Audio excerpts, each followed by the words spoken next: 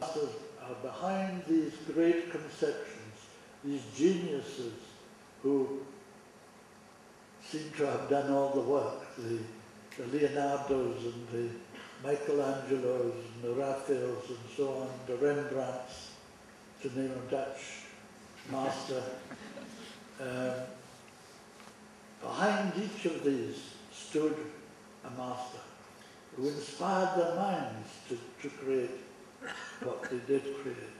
Dus achter de grote genieën eh, uit de geschiedenis staan altijd de meesters met hun denkbeelden en hun inspiratie. Of het nu gaat om Leonardo da Vinci of Michelangelo of grote eh, kunstenaars zoals Raphaël of Rembrandt, om een Nederlandse meester te noemen.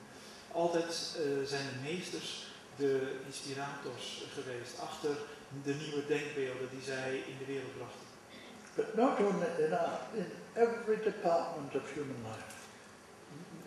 En dat is in elk, uh, ja, elk aspect van het menselijk leven, niet alleen in de kunst of de wetenschap. So there are masters who look after mostly artists, those who look after politicians, those who are in contact with, with uh, philosophers, with men of the church, and so on. Er zijn dus meesters die zich vooral uh, bezighouden met uh, kunst, en meesters die zich bezighouden met de politiek, met uh, de filosofie en, en noem maar op. The masters have their specialities. Alle meesters hebben hun eigen specialiteit. Now, at the head is a great being who has many names. His personal name is the Lord Maitreya.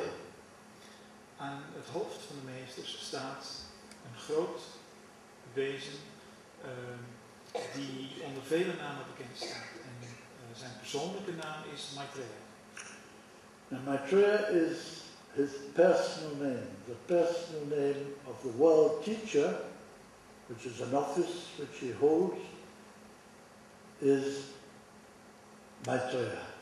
Maitreya is de naam van uh, het hoofd van de hiërarchie die uh, de, de functie van wereldleraar bekleedt. Is een functie in de hiërarchie van meesters.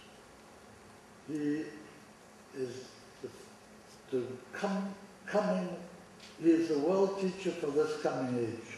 Hij is de wereldleraar voor dit komende tijdperk. And he was the world teacher for the past age, the age of crisis. Hij was ook de wereldleraar voor het afgelopen tijdperk, het tussentijdperk. And the first of all the masters to be a world teacher for two succeeding ages. En hij is de eerste van alle meesters die de functie van wereldleraar bekleedt voor twee opeenvolgende tijdperken. 2000 years ago, he manifested himself through the disciple as he was then, Jesus of Nazareth. 2000 jaar geleden manifesteerde hij zich door uh, die toen de discipel Jezus was. Jezus van Nazareth. Now, all of this is to do with the ageless wisdom teachings. En dit alles heeft te maken met de leringen van de oude wijsheid. Which come from the masters. And go back thousands and thousands Die leringen van de oude wijsheid zijn afkomstig van de meesters en die gaan duizenden, werkelijk duizenden jaren terug. And who are responsible for, for inspiring beautiful, incredibly gifted civilizations going back hundreds of thousands of years, which humanity knows nothing.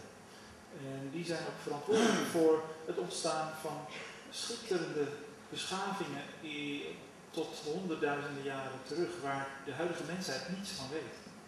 You know, there was a time in the world when there was no such word as stealing. It didn't exist to steal. Weet u dat er een tijd bestond uh, op aarde dat het woord stelen niet bestond? Het bestond gewoon niet. People lived in total harmony and trust and stealing just did not happen. Mensen leefden in volkomen harmonie, eh, in vertrouwen en stelen gebeurde gewoon niet. Compare that with now. En vergelijk dat met onze huidige situatie. We can make such a time when the word for stealing, for want, for people dying of starvation in a world of plenty is never seen or heard again. We kunnen opnieuw zo'n tijd uh, bouwen uh, waarin stelen niet voorkomt, waarin uh, honger in een wereld van overvloed niet voorkomt en nooit meer zal voorkomen. Maitreya manifested through Jesus for the last three years of Jesus' life.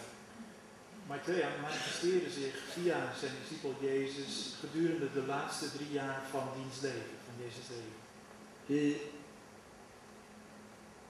as it's called, overshadowed Jesus. His consciousness entered into that of Jesus, and when people saw Jesus, sometimes they would see just the disciple Jesus, other times they would see the disciple Jesus overshadowed by Maitreya, and sometimes I would see Jesus and Maitreya together in the same, both consciousness in the same body of Jesus. Um, Maitreya deed dat door het bewustzijn van de discipel Jezus te overschaduwen.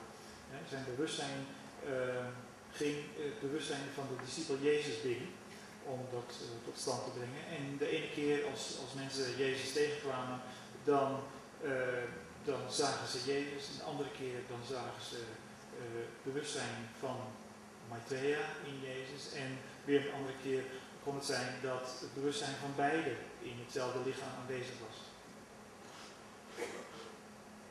And due mainly to the teaching of St. Paul, the idea of Jesus as the one and only Son of God became every day prominent in Christian scripture.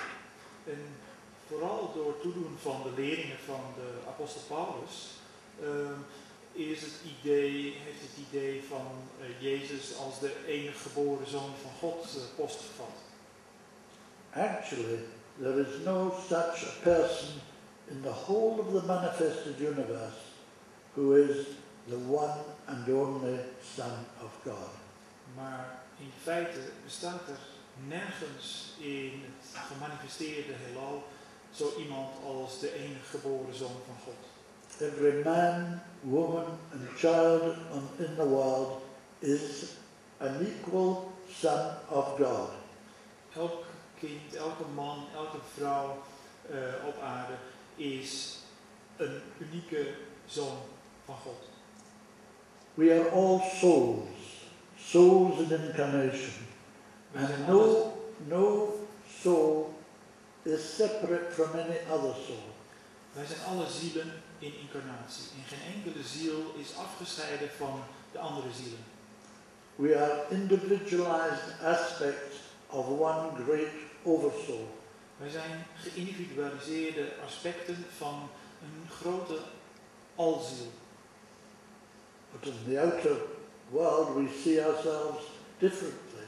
We see that we don't like the Chinese, or we don't like the Japanese, or we don't like Americans, or we don't like Brazilians, or, or, or Africans, or something.